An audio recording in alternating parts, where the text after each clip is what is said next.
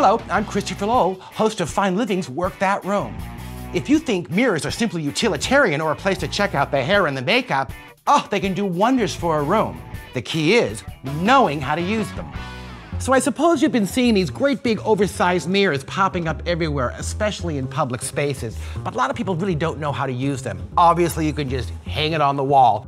Here's what mirrors do though. They double everything you own. So when you place a mirror, you have to be really sure of what it will reflect. I've seen more people put mirrors up against the wall that reflect nothing.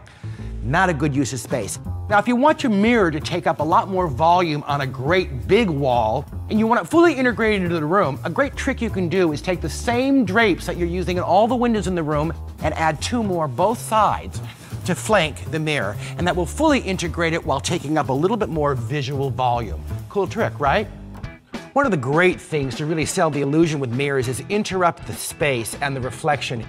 Here, I've just put a really pretty occasional table or a console table.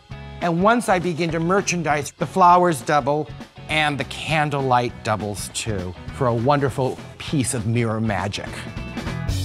Now, a trick that I use a lot in small spaces when there's no room for a large dining room table is I create the illusion that there is one.